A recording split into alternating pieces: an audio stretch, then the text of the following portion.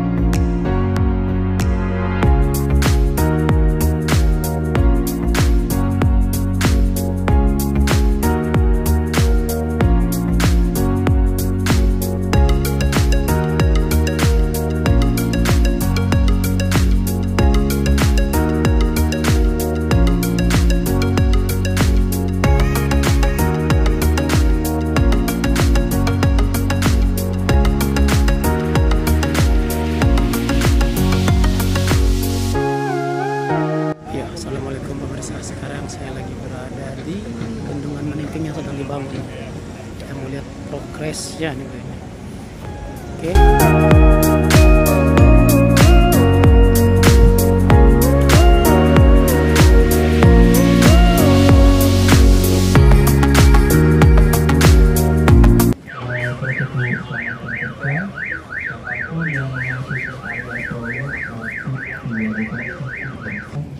bahkan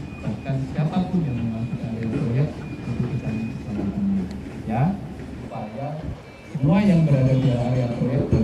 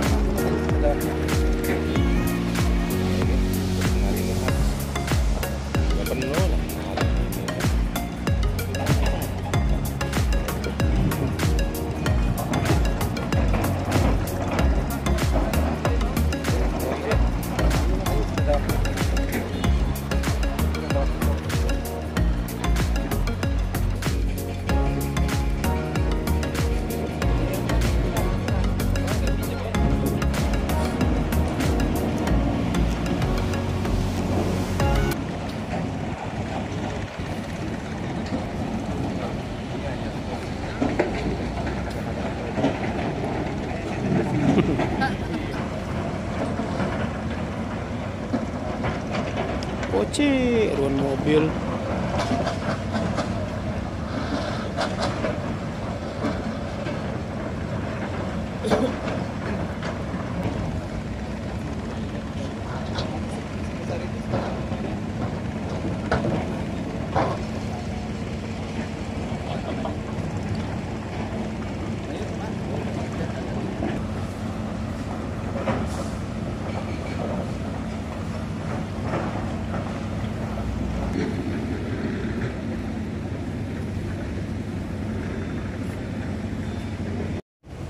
Bendungan berbeda dengan bendung.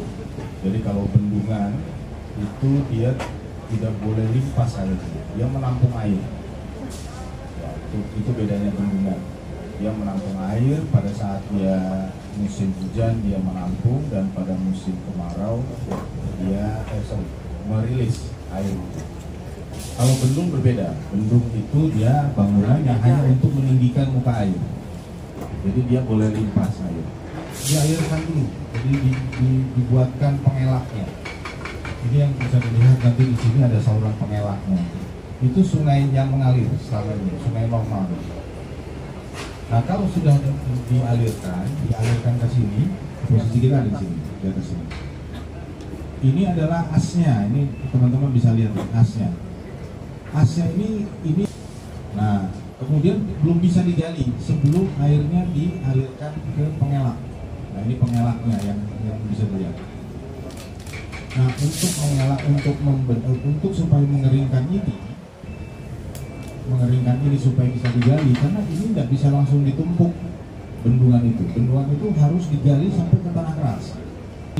Kering, ini ada overdam. Nah, ini dibawa ke sini sambil mengena, mengerja, eh, sa- sambil dibuat eh, temporary cover dam dan itu untuk debit Q5 nanti saya jelaskan Q5 kalau ulang 5 5 tahunan selama 5 tahunan kalau cover dam. Cover dam ini kita mulainya dari sandaran kiri dan sandaran kanan. Jadi tengahnya di sini ini. Jadi nanti akan jadi dari kiri dan kanan bekerja baru menyatu di tengah. Nah ini posisinya. Waktu itu belum ada timbunan. Itu pertama. Jadi ini posisinya digali terus dan gali. Karena untuk memproses itu ada ada dua tahapan. Ada temporary, temporary itu di sini. Cuman posisi digalian otomatis karena dia digali jadi dia terendam air. Sekarang posisinya.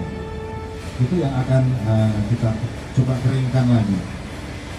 Keringkan dalam posisi sekarang normal dia masih bisa mengalirkan.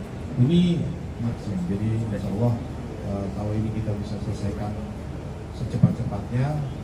Masyarakat juga akan lebih cepat tenangnya, lebih aman dalam eh, apa, berkehidupan sosial di kemudian hari.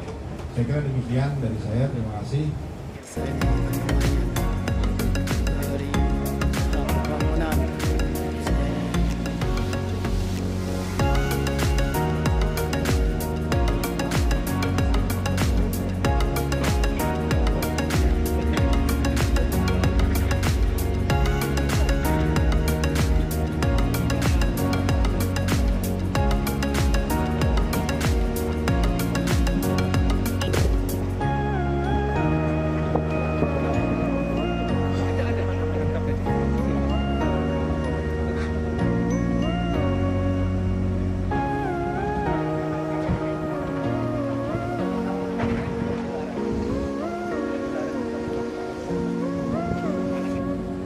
Jakarta.